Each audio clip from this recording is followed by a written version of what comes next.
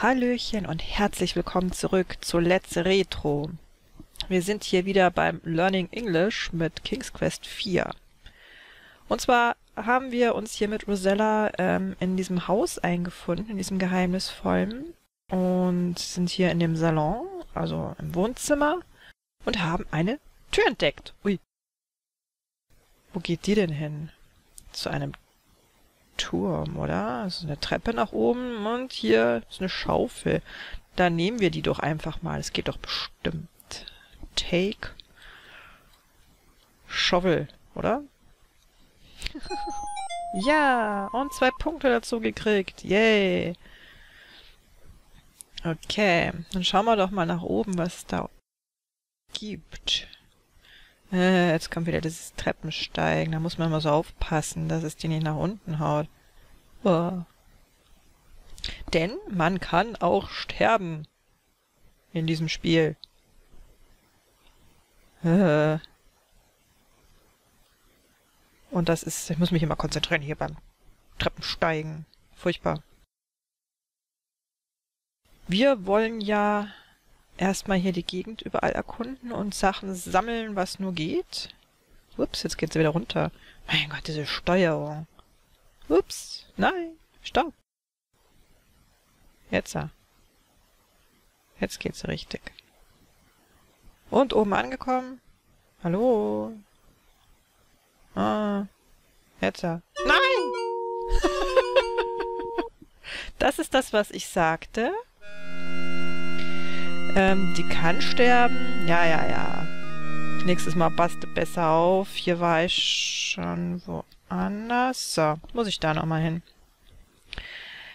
Ähm, ja. genau das sollte einem nicht passieren bei so einem Spiel. Man kann die Treppen runterfallen. Man ist mal platt, das ist ja so gemein. Und die Steuerung ist echt fies, finde ich, mit der Tastatur hier, mit den Pfeiltasten, weil die kann ja auch so schräg gehen. Und ups. Äh, stopp. Das ist gar nicht so einfach, dir so eine Treppe hochgehen zu lassen. vor allem wieder runterkommen. Das stelle ich mir jetzt auch sehr gut vor. Nee, das ist falsch. Stopp, stopp. Mit diese Winkel hier. Geht's jetzt richtig? Stopp. Stopp. Stopp. Stopp. Ja, sie hat's geschafft. Oh, eine Orgel. Eine feine Orgel. Schauen wir uns aber erstmal an. Wir machen erstmal Look at... Nee, Look Around machen wir einfach erstmal. A dusty old pipe organ sits in the center of the tower room. Also habe ich recht, es ist ein Turm. Eine staubige alte Pfeifenorgel steht in der Mitte des Turmzimmers.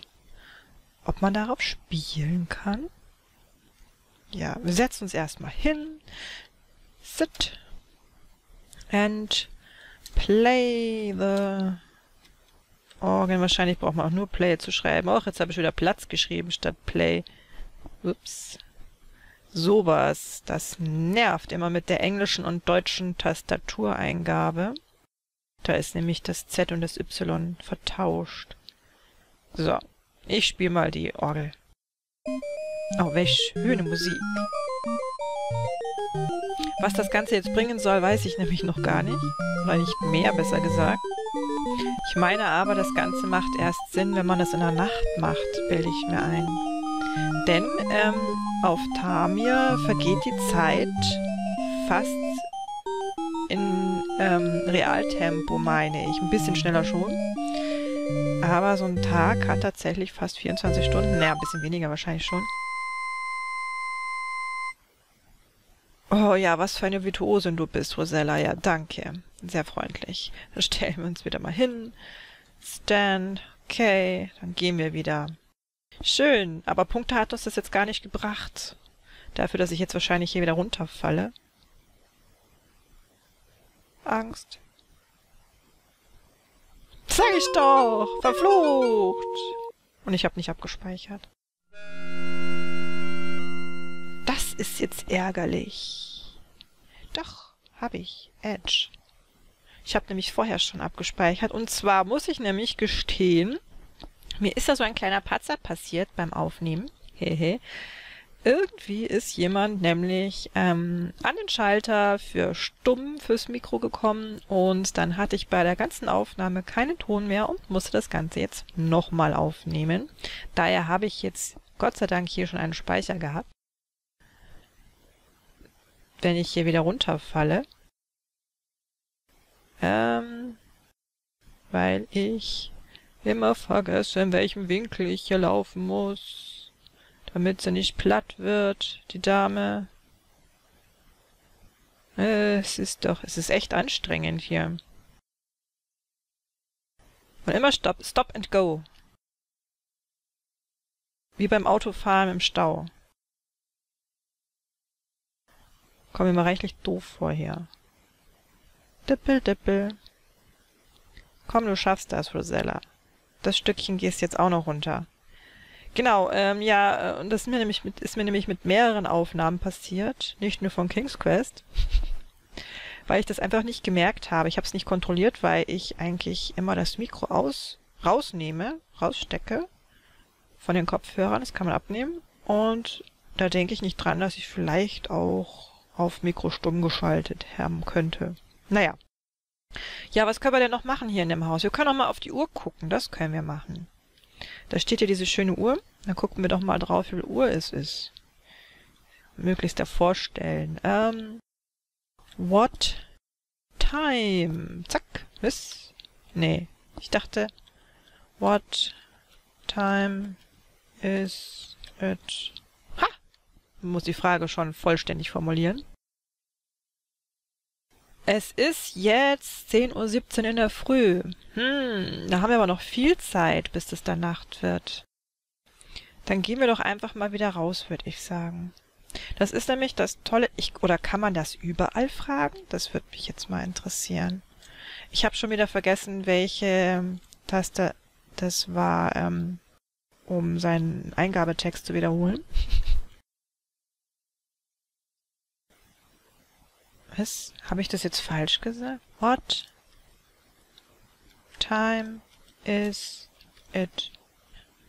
Oh, that is not clear. Also muss ich mich direkt vor die Uhr stellen, damit ihr das kapiert. Alles klar. So, jetzt sind wir wieder hier. Oh, da ist wieder der Wurm. Ähm, ob wir das diesmal schaffen, den Wurm zu nehmen, den brauchen wir nämlich. Den brauchen wir nämlich. Toll. Jetzt. Ja. Jetzt habe ich schon gedacht, weil ich da hier, was das ist, diesen Hügel da oder diese kleine Kante darunter geplumpst bin, dass ich das wieder nicht schaffe, weil den Wurm brauchen wir für irgendwas. Ich weiß nicht mehr für was. Ich glaube für eine Angel. Für den Fischer, glaube ich. Genau, den wir am Anfang getroffen hatten, da am, am Meer in dem Haus mit seiner Frau. So, jetzt sind wir hier wieder im Zwergenhaus. Da wollten wir doch gar nicht hin. Wo gehen wir denn jetzt überhaupt hin? Das ist jetzt hier die große Frage. Ich würde ja mal sagen, ich gehe jetzt erstmal in die Richtung. Weil ich möchte jetzt noch nicht gleich ähm, die Berge hochgehen. Da war ja auch ein Weg in die Berge. Ich wollte erstmal hier die Gegend noch weiter erkunden und noch Sachen sammeln, die man so gebrauchen kann. Wir haben ja jetzt, ähm, was haben wir denn jetzt alles? Äh, nein, ähm, das war das falsche Kürzel. Ähm, nee, kon ja, ja, ja. Das war, genau, Control. Ich musste gerade überlegen, welches Tastenkürzel das Inventar ist. Also wir haben den Diamantenbeutel, den goldenen Ball, eine kleine Krone, die Schaufel, das Shakespeare-Buch und jetzt noch den Wurm mit uns. So. Ich weiß noch nicht, was wir alles damit machen können. Jetzt mal wieder hier. Wo ist er denn? Ach, da. Am Teich waren wir ja auch schon. Das ist erledigt. Dann gehen wir da hoch. Ich glaube, ich laufe schon wieder hin und her. Bin schon wieder lauter gleiche Wege gegangen. Zimmer im Fischerhaus. Dann gehen wir doch einfach mal dahin und gucken mal, ob die was mit dem Wurm anfangen können. Könnte ja sein. zufälligerweise. Ähm, Im Meer ist auch irgendwas, da kann man rausschwimmen. Das wollte ich noch ausprobieren in der Folge, was da passiert. Es gibt da nämlich auch verschiedene Möglichkeiten. Je nachdem an welcher Stelle man rausschwimmt, glaube ich. Ähm, jetzt würde ich aber gerne abspeichern, weil ich nicht weiß, ob ich nicht diesen Wurm hier verliere. Mal kurz obwohl, nee. Ähm, genau, nehmen wir das doch einfach. Jetzt geht der. Nee. GIF. Wurm. Ich möchte mich dem Wurm geben. Der ignoriert mich. Oh, das ist nett. Ach so, der will nur an, an mir vorbei. Ja, ist so ein Mist. Ich würde nämlich gerne diese Angel haben. Kommt der jetzt oder nicht? Hallo? Dann machen wir doch mal Open Door. Gehen wir einfach mal frech rein wieder. Und die ist immer noch beim Essen machen. Ähm, kann man den Talk to noch mal machen? Bringt das noch was? Also mit ihr reden?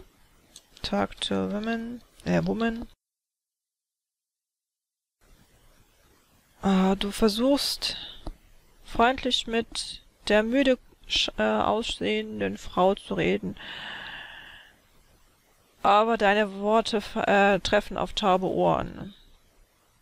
Sie ist offensichtlich genervt von deiner Anwesenheit. Na super. Ähm, Help, Woman, wir wollen ihr helfen. Wie kannst du das machen? Baked Bread, das hatte ich glaube ich schon mal ausprobiert, oder? ähm, was können wir ihr denn Gutes tun? Give Diamond Pouch. Vielleicht will sie Diamanten haben. Dann hat sie Geld, da brauchst du nicht mehr so hart zu arbeiten. Was? Ich bin nicht nah genau genug. Äh, wo war die Wiederholungstaste? Ach, ist doch egal. so. Oh, diese Frau ist schon aufgeregt, dass du hier bist. Boah, nervst du nicht mit anderen Sachen, mit Sachen hier. Hallo, ich will nett sein und ihr was geben. Frechheit. Ja, mal hier. Nehme ich halt den Schlüssel. Ach nee, das ging ja nicht. Mann, was konnte ich denn da machen? Hilft mir denn keiner? Boah, ist das lange her. Irgendwas konnte ich hier machen. Was hat sie denn noch dabei gehabt? Muss ich nochmal gucken. Ähm, vielleicht den goldenen Ball. Ge Ugh. Tippen. Ähm. Ja, ja, okay, also sie will definitiv nichts von uns haben. Dann nicht. Pech gehabt. Frechheit. Da ist man mal nett. Mann. Jetzt gehe ich wieder rüber. Jetzt sitzt er wieder da.